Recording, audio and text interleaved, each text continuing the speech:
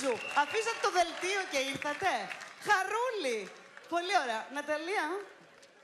Ναταλία, την επόμενη φορά που θες να συνεννοηθείς με το σκηνοθέτη μου για να κάνεις θέματα στην εκπομπή σου, θα πρέπει να με ενημερώνεις.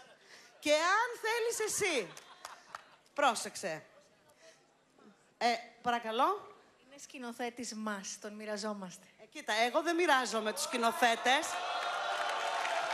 Αν θέλεις, Ναταλάκι μου, τον κύριο Ασπρούλια, μπορείς να τον έχεις, γιατί από αύριο θα έρθει Ιταλικό στρατόπεδο.